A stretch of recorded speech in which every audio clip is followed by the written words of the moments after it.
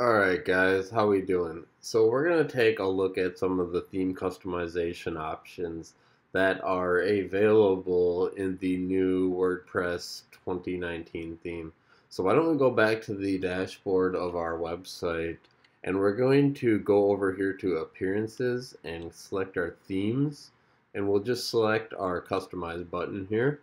And this is basically the big overview of what we're able to change with our theme.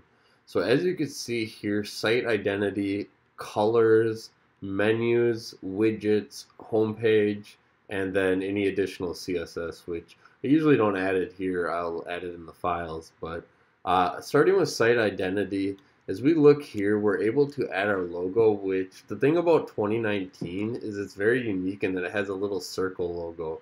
Um, I'll show you right here. This is it.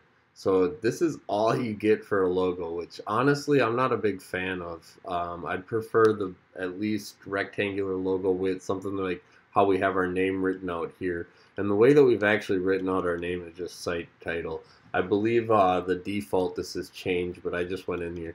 And here it says uh, just another WordPress site, which is, as you can see, follows the logo title or the site title.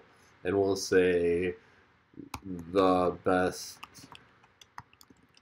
place to register domains or something like that. I don't know. That might be too long. No, it looks good. So guys, that's kind of what we're working with here. Um, I don't know how I feel about the header of this site, which goes into the second part. We could also add a logo, but it's just going to come here, which will take down the name. I'm not going to do it right now because this looks fine for the demo. The colors here is going to change all of our link colors, so everything in the background will remain white. So going here to customize, why don't we look at uh, the different colors, and as you see, we can change these. Uh, why don't we change them? We'll make them this off red for now. So that's the colors customization. And then going to menus, now, the menus on here is also really, really unique. So we're going to create a new one. We'll just call it main menu. And it's going to be in the primary menu location. So let's go to next and let's add an item. Um, I don't think you can see here, but it just spaced out a little bit. So we'll add a home page and we'll add a sample page. And as you see here, it's generated both of those. So these are these are our main menu navigation area. And honestly, I, I don't know how I feel about that. You really start building these out a few pages, and you see it's just like it blends in too much with the title of the site. It becomes really hard to distinguish the menu from the headers and the logos. So that's the menu navigation. Again, I'm not 100% how I feel about that. And then if you actually go so yeah, that's the menus. Uh, the widgets, you'll see there's quite a few that start out. You have your search box here, uh, your recent posts here, which will be your blog posts, your comments if anybody's left any comments, uh, archives where you can store your old posts and such, uh, categories if you have them, and your meta.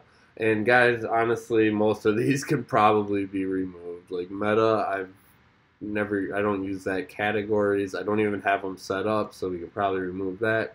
You get the idea. We can go through here and pretty much probably remove everything except for the search. But we're not going to do that at this moment. So um, yeah, guys, let's go back here and just real quick, let's look at the homepage settings and Right now we have our latest post, which as you can see is our Hello World, which is the only post that's out.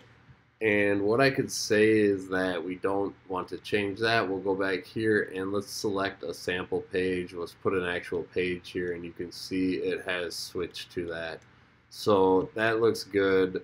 Um, you know, it gives us a few options. Let's just publish this. So all that said and done, here's kind of the theme customization options of our page. This is what it looks like. You can go in, you can edit, make changes as you need, uh, play around with it, just make changes. And the thing about this is when you go into the actual sample page, you're going to be able to use the block editor, which is going to allow you to do a lot of these things, the Gutenberg editor, which uh, you couldn't do on the old WordPress. So guys, stick around. That is uh, the new WordPress theme customization tutorial.